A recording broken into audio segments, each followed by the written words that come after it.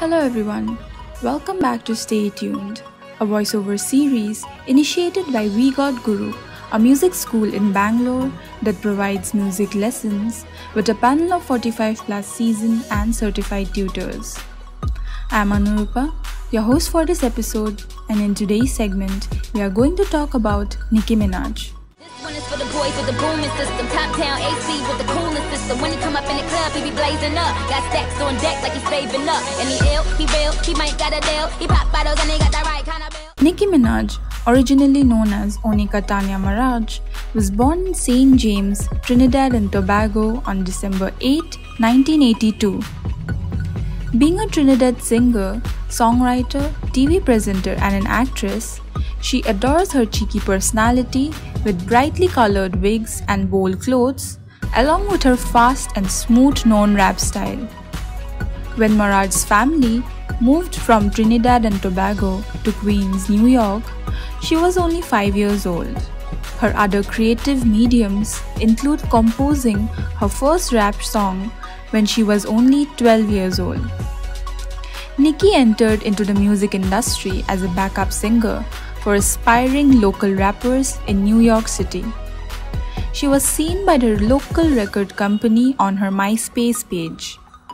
Nicki eventually caught the attention of rapper Lil Wayne, and both of them produced several mixtapes and recordings, of which the first one was Playtime is Over, released in the year 2007.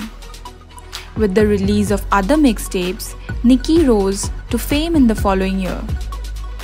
Along with that, she was named the Artist of the Year at the Underground Music Awards.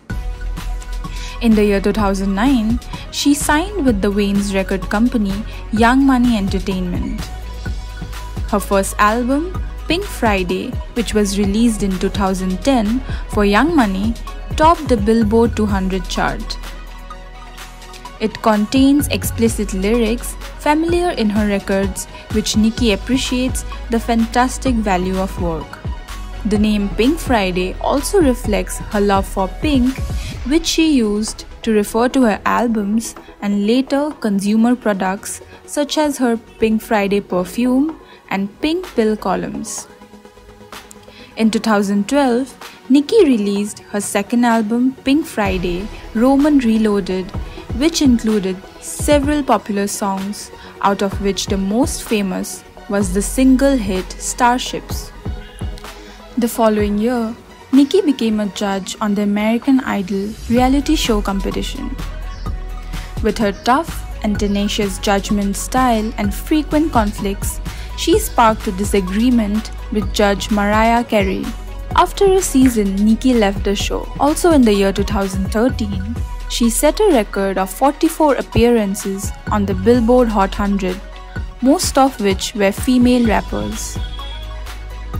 Her third studio album, The Pinkprint, was released in the year 2014. Just like the song Anaconda, this was a return to her early rap style. Her album, Queen, in the year 2018, showcased collaborations with artists such as Eminem, The Weeknd, and many more. Nicki Minaj also appeared occasionally on films, which included The Other Woman in 2014, The Barber Shop, The Next Cut 2016.